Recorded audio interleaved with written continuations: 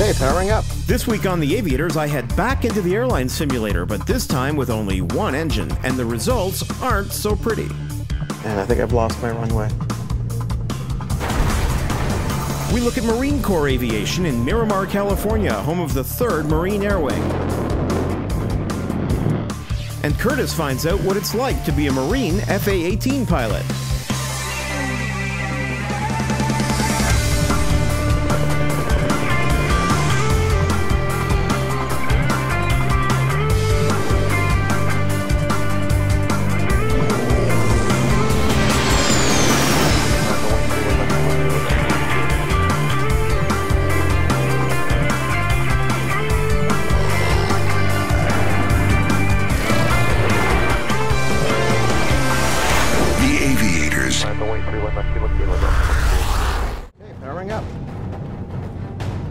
Had an engine failure.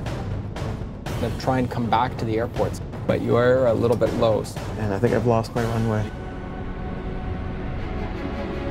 Yes, we're back in the simulator.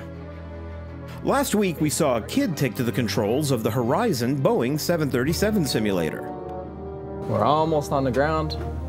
This week, I'm going to try my hand at landing the simulated 737, but things are going to be a little tougher for me. Shortly after takeoff, we're going to lose an engine. Now, I'm an IFR rated private pilot, but I am not a multi engine pilot. I've had absolutely no multi engine training. I have no idea what to expect. But we have Slavko here from Horizon Aviation that's going to help me through this situation and hopefully bring us down to the ground safely once again. For this challenge, we're back in the Horizon 737 simulator. I'll be starting with the jet on the runway. Unfortunately for me, I have no idea when I'm going to lose an engine. And having no multi engine experience, to me, everything is new. On the ground, ready to go. Okay, powering up. Good stuff. And we're gonna keep that one hand there until V1. You're gonna control on the ground with your feet, exactly like you're doing. Unbeknownst to me, this challenge is starting a lot sooner than expected. And V1, rotate. So you start pulling back.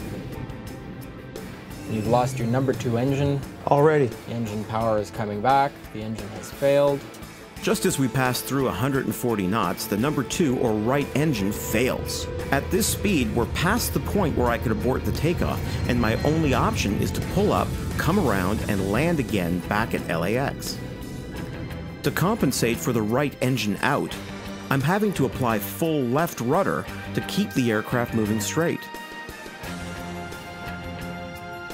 Yeah, it does feel kind of lopsided. I'm trying to keep it level, and compensating one way turns me another way. It's it's it's, a hard to explain. It's yeah. just it's not. Uh, it's certainly out of the ordinary, definitely. To turn to the right, all I have to do is let off the left rudder a little bit and the aircraft will start to turn itself.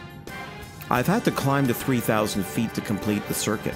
I'll be doing a complete circuit and landing back on the runway I took off from. Although ahead of us I'm seeing another airport, Slavko is telling me I'm not out of the woods yet. You know, I'm looking out the window, and is am I uh, supposed to be going slightly to the right? Uh, no, actually, well, yeah, you want to be on a heading of 070. Right now we're in 060. Okay, So, so, just a little bit to the right. And LAX, the airport, is just abeam. It's our sort of at our 90, oh, okay, 90 degree here. all right. Because I'm seeing something ahead of us, but I, I guess That that's is not the uh, airport. another airport, actually. oh, that works for me, but I guess we're going to LAX. It is, yeah. We're going to go back. That's where our maintenance is, and that's where we're.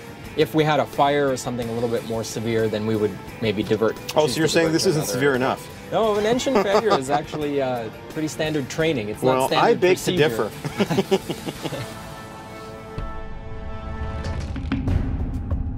While I'm certainly not enjoying this, Slavko is right. Airline pilots undergo simulator training for this exact sort of procedure approximately every six months. For me, having to do the circuit is giving me a lot of practice balancing out flying on one engine. So what we're going to do is we're going to try a turn. Uh, so I'll command it here on your flight directors, and you're still flying the airplane. The autopilot isn't on.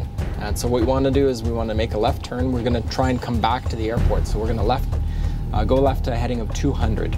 And it's a climbing left. I'm still climbing. You're, here, you're still right? climbing because we still want to try to get up to 3,000 feet for the circuit. Thankfully, after a final left turn, I can see the runway.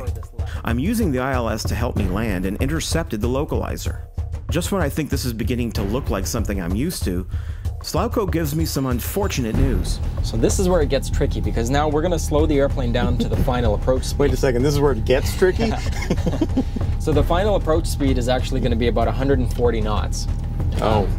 And so we're going to slow the airplane down. We're going to configure the flaps. Flaps for landing aren't going to exceed 25, where normally we would be at 30 or 40. My flaps are set for landing, I'm slowing, and I'm right on the proper speed to land, but I'm left of the runway and am descending too quickly. And yeah, I'm gonna. Looks like if I keep this up, I'm gonna be short of the runway. I'm going to give you a little bit of power. But you see now I gave you a little bit of power. The airplane started giving you a little bit of a turn. Yeah, yeah. I see it's pushing me the other way. But you are a little bit low, so we're going to have to help you out there.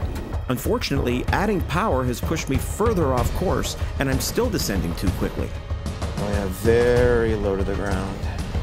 And you see And I think I've lost my runway. you have. Oh. And Uh oh. there's the ground. Well, we're on the ground. That's good. Well, the airplane's on the ground, just not on the runway. Despite it looking like I've broken the simulator, the likely result would have been damaged landing gear and the aircraft skidding to a halt. The passengers would be okay, but I gotta say, I'm not happy with this result. That was really hard. That was really hard.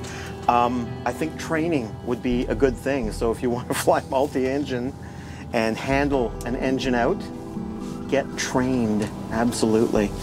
Uh, that was that was really really tough. It didn't feel at all right. Nothing felt right about that entire flight. It was just wrong from the beginning.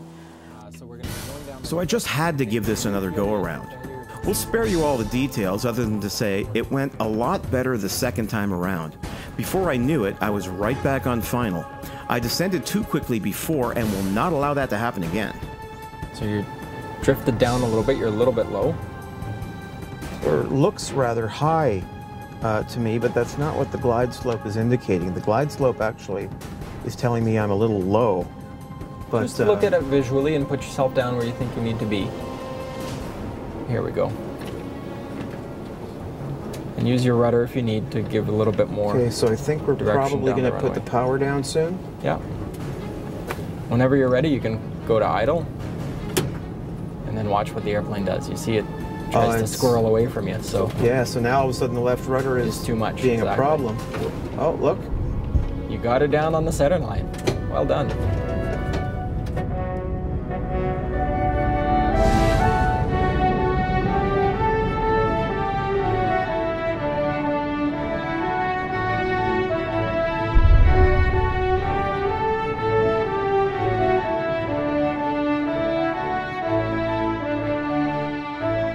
Wow, that was uh, that was really really hard. But this one was obviously much better than the last one. We came up short from the runway in the last one, and uh, and we made the runway, and it was much much better this time around.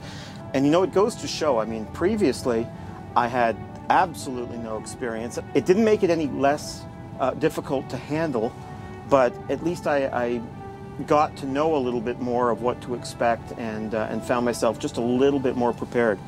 It was tough, but finally, second go around, we did it, and I'm, uh, I'm pretty happy, all things considered.